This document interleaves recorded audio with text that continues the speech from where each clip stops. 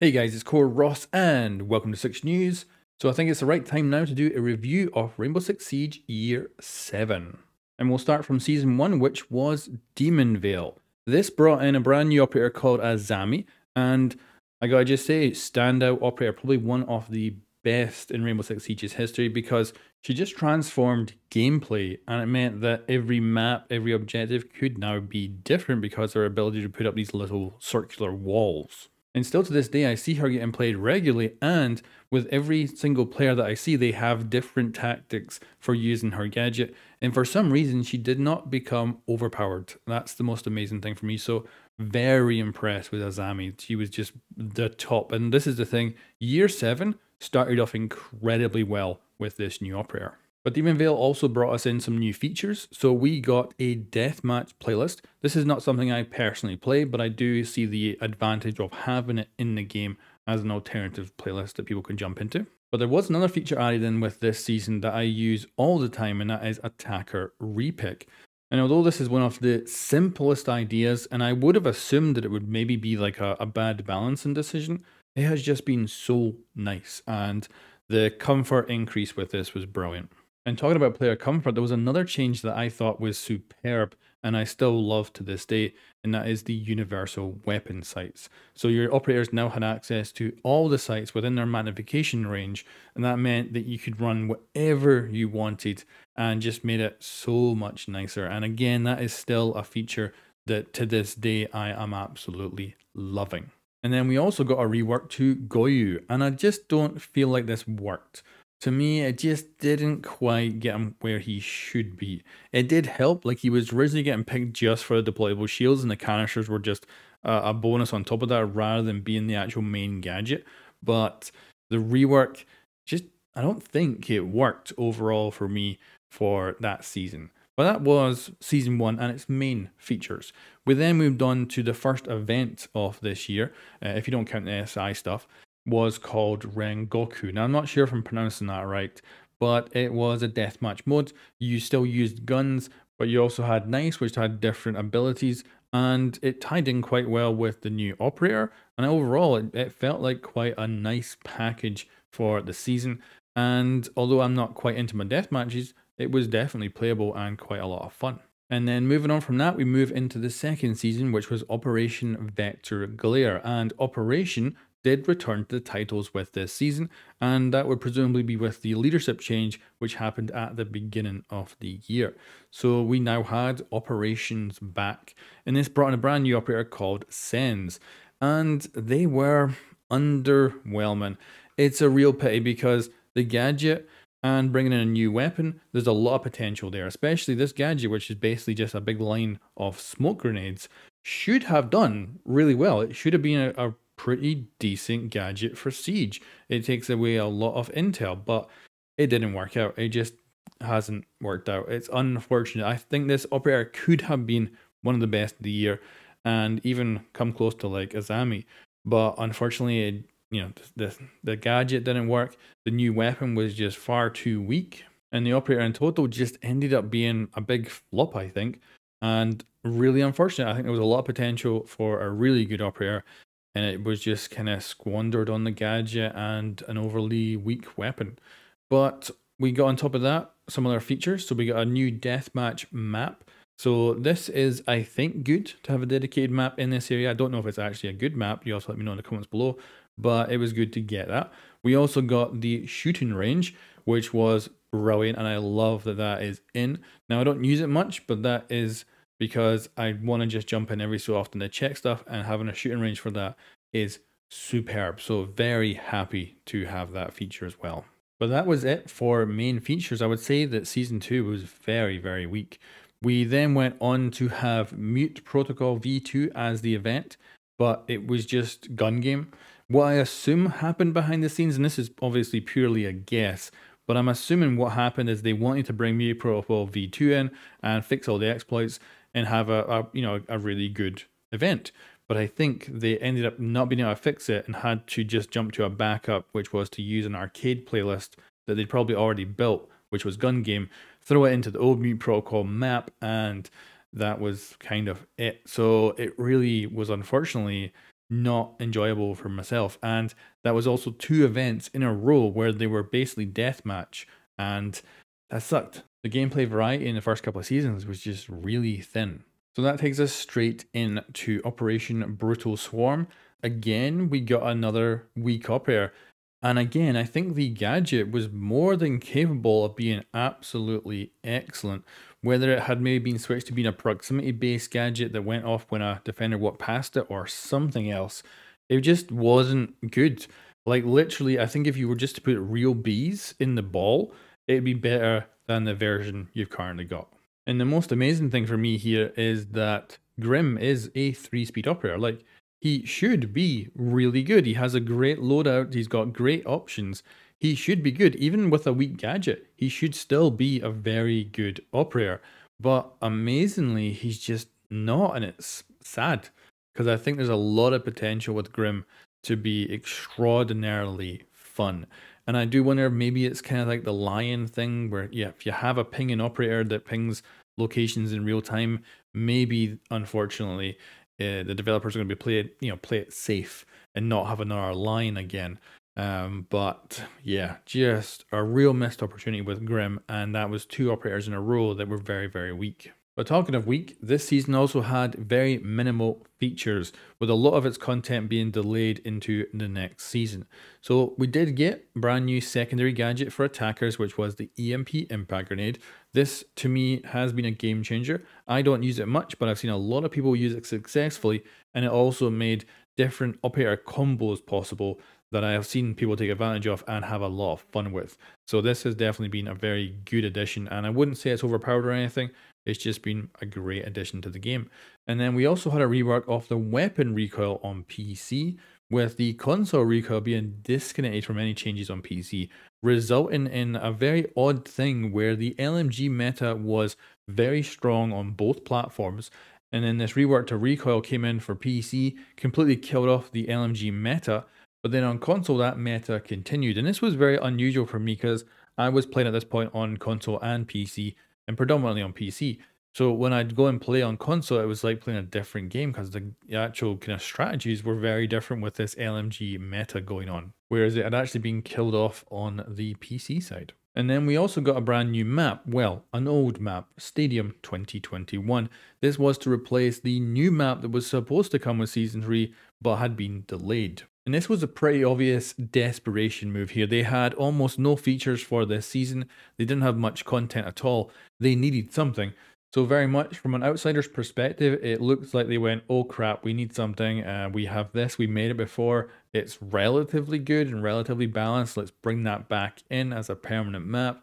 And, and I could see them like quietly taking it out sometime in year eight. But although I love this map, it really just hasn't quite fitted in with the other maps in the rank pool, I think. So it's a bit unfortunate overall. And like I say, I think it was desperation. And then the event for this season was Doktor's Curse, and I can't say anything bad about this event. It is just so much fun every single time, and I have literally no complaints. I would love some new events with new gameplay, but Doktor's Curse is iconic and it is very different from Siege's normal gameplay, which makes it, to me, one of the best events. So I was very, very happy to have it back. And that brings us to the final season of Year 7, and that is Operation Solar Raid with the new operator, Solis. And I think she is absolutely fabulous, like one of the best operators this year. I don't know if she's as overpowered as some people make her out to be, but I do think she's fun, like just pure enjoyment to run around with and a bit more interest than other operators. Now, she is probably just a reuse of an IQ rework, but I have no issue with that. I think she fits beautifully in on the defender side, and yeah, um, like like I say, simple operator, but executed beautifully. We also got a brand new map called Nighthaven's Labs. Now, I was originally very excited about this because the teasers made it look like quite a small map, and then when we actually got to play it, it was huge. And I love the older style of small maps that aren't probably relatively balanced, but I enjoyed like the old Hereford base and stuff like that that were tiny in comparison to Siege's current day maps. But overall, I do think this is a good map and has a lot of potential for it. I'm starting to actually make up strategies that are actually okay rather than just aimlessly running around on the map.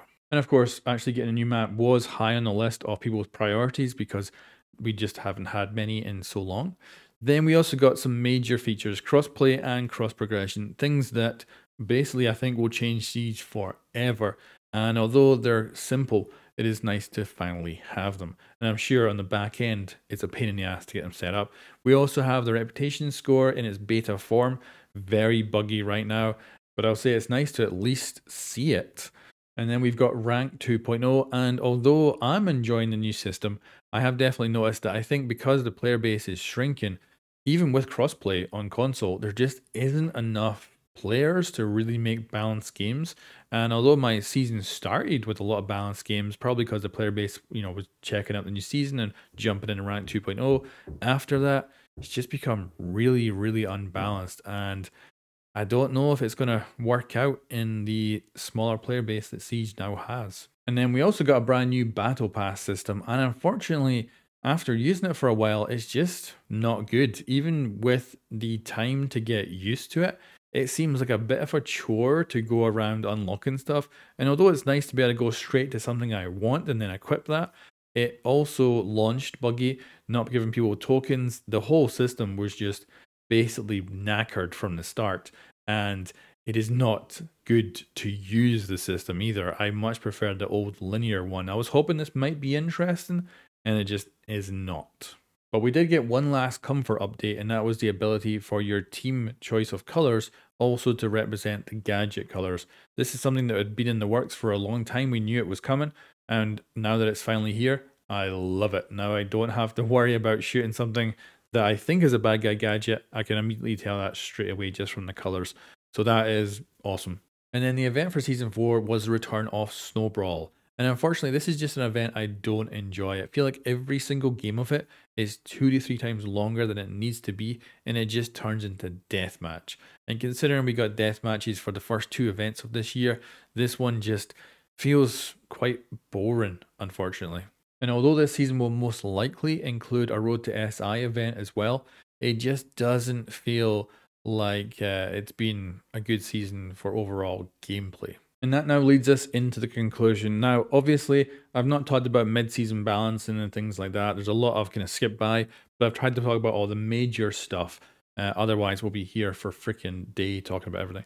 So my conclusion is that overall, this was a very weak year for Rainbow Six Siege, and I don't know if that's a cutback on like budgeting or whatever, or maybe they're trying to work on stuff that will come in future years.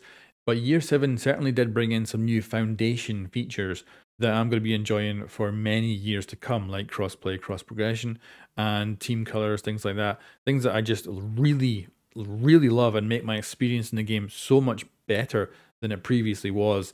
And obviously, I'll be enjoying those features for many years to come. So that was good. But the content, the gameplay really lacked this year. Looking back at previous years, where I would say we had the golden age of two events per season, people obviously want like two operators per season, but I'm more into the events per season. And man, it was just so nice to have two events per season, like in year six. So, year seven for me, having mostly reused events, although I can't really say that about Mute Protocol because it, it was just gun game. It was, uh, it was a different event. It wasn't really Mute Protocol, so it wasn't really a reuse. But the whole year just felt like a recycle when it came to gameplay. And of course, this being a game, the gameplay is important and dropping down to one event per season was a real turnoff for me. Now, the features, I gotta say, this actual year was pretty impressive with features, but it was too issue heavy as well because season 4 launched with server problems where they went down every 24 hours and the issue has gotten slightly better but they're still going down and there's still major problems going into the winter holidays. And this is the worst time for that kind of stuff to happen because, of course, people are off enjoying Christmas with family right now. So, really unfortunate. That wasn't also the only thing that happened. The Battle Pass was broken on launch, and that took them a little while to fix. So, overall, the experience for Season 4, I think, has just been one of the worst. Even though the operator is great, even though the map is okay, the actual content and the issues has been far worse than usual. And I am a person who expects big bugs on launch day with Rainbow Six Siege. I think that's an inevitability. But unfortunately, This was just way worse than usual. And yeah, really, really bad.